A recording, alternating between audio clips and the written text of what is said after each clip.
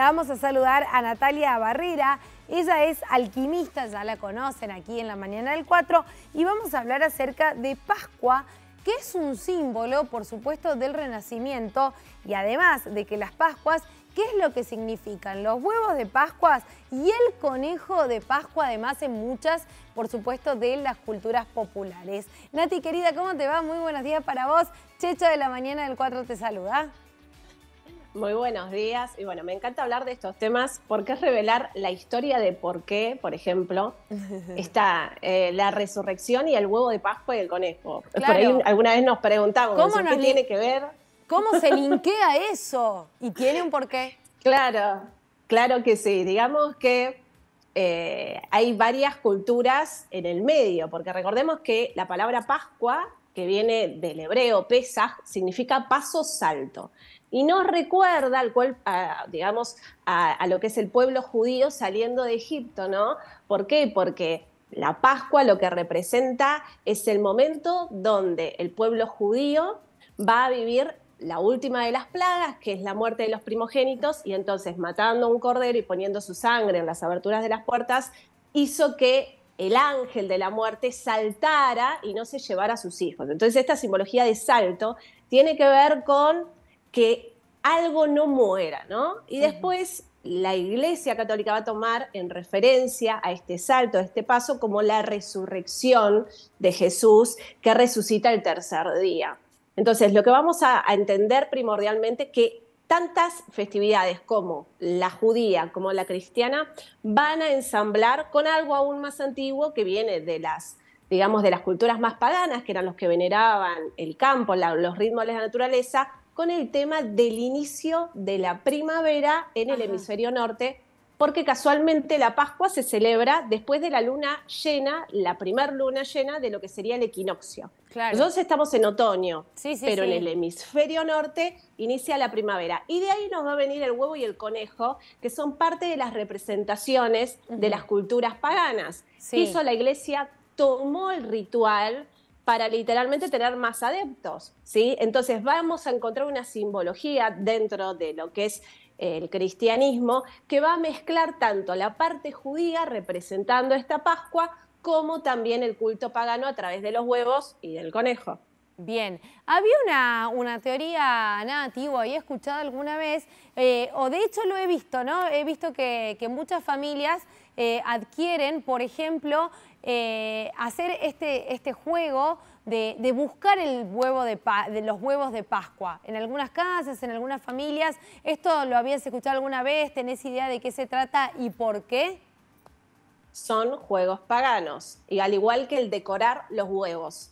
Antes no eran de chocolate, era el huevo común que se sacaba al interior y se pintaban con, eh, eran hermosos literalmente, eran pinturas muy, muy delicadas y la simbología de pintar el huevo, porque el huevo representa un inicio, representa una muerte y una resurrección. La primavera es como el triunfo de la luz sobre la oscuridad del invierno. Recordemos que en épocas antiguas atravesar el invierno era atravesar la muerte. Fíjate que nosotros, en este hemisferio sur, también nos queda el vestigio de esto con el tema del primero de agosto, de tomar la caña con ruda.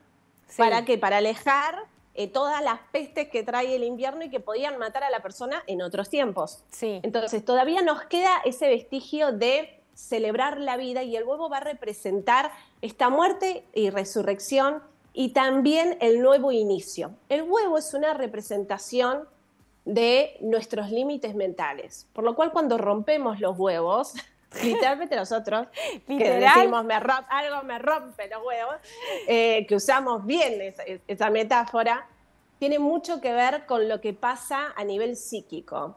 El huevo es una representación de la vida. Cuando el huevo se rompe desde adentro, la vida inicia. Pero cuando el huevo se rompe desde afuera, es decir, que nos rompen los huevos desde afuera, algo nos destruye la armonía de nuestra vida. ¿sí?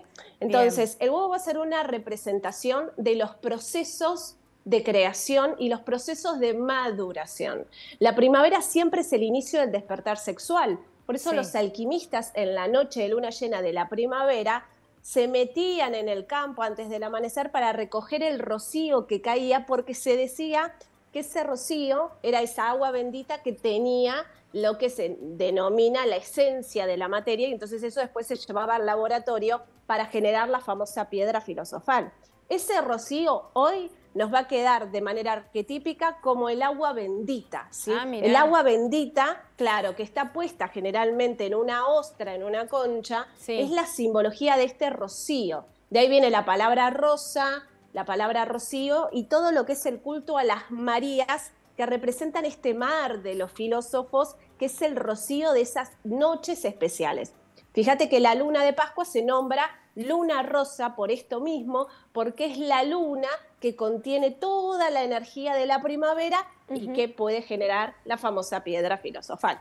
Ahora, Nati, ¿qué, qué recomendás vos o qué eh, podríamos hacer nosotros desde, desde nuestro lugar ¿no? Para, bueno, ya has dado toda la información de lo que significa eh, romper ese huevo o que nos rompan los huevos, como decía recién, eh, de alguna forma, pero eh, ¿qué podemos hacer para que, ese para que este domingo, que, que es Pascuas, sea un momento especial, sea una celebración especial, quizás no tanto de de, pedido para uno, ¿no? Pero sino también irnos hacia, hacia eh, el agradecimiento o de alguna forma decir, bueno, eh, entre tantas cosas que sucede, yo quiero acomodar mi vida y, sentirme mejor. ¿Qué podemos hacer?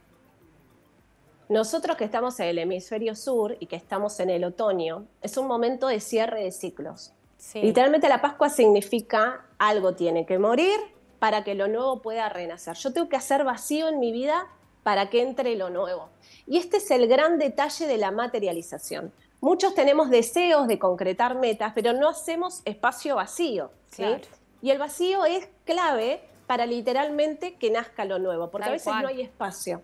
Entonces es un momento, la Pascua, de tomar ese paso, ese salto hacia poner el límite a lo que no va más. Literalmente relaciones tóxicas, hábitos que no nos sirven para nada, es un buen inicio de limpieza, de purificación. Por eso se hace la cuaresma previamente. ¿Por qué? Porque todo tiene que ver con el sacrificio. Es decir, es momento de literalmente vaciarnos de la esclavitud, para liberarnos de todos esos condicionamientos que nos limitan a la hora de literalmente vivir la vida que queremos. Somos esclavos de algo somos esclavos de algo que nos estresa y que nos pone en un lugar de sumisión. Y este es un periodo de reflexión. ¿Para qué? Para tomar medidas. Siempre hay algo que podemos hacer. Es decir, ya el hecho de reflexionar, de entender que la Pascua nos recuerda que es momento de que algo tiene que cambiar, que hay que dar vuelta a la página. Y para eso yo tengo que tener una disciplina, tengo que pasar a la acción, no tengo que quedarme simplemente con el deseo. Por lo cual es un momento de limitarnos, es decir, de emprender el viaje de la, de la liberación. Claro, y todo esto que nos estás diciendo, Nati, ¿no? que obviamente tiene que ver con un, darse cuenta, con un registro de lo que necesitamos para uno. Eh, está bueno que lo hagamos y lo pensemos este domingo. Exactamente, y que tomemos acción, porque en realidad la Pascua marca en, en el ciclo astrológico, en esta estación en particular, un momento de quiebre ¿sí? Cuando estamos rompiendo el huevo, estamos rompiendo los límites mentales que nos esclavizan, esos paradigmas y esas creencias que nos siguen diciendo, espera, no lo hagas ahora, no podés, te falta voluntad. O sea, es un momento de romper los límites y liberarnos de todo eso que nos está esclavizando. Perfecto, Nati. Como siempre, nos encanta que estés aquí en la mañana del 4. Te mandamos un saludo grande y gracias por estas sugerencias para este domingo y para hacer sobre todas las cosas un domingo distinto y especial. Gracias. Un saludo a todos y que tengan felices Pascuas.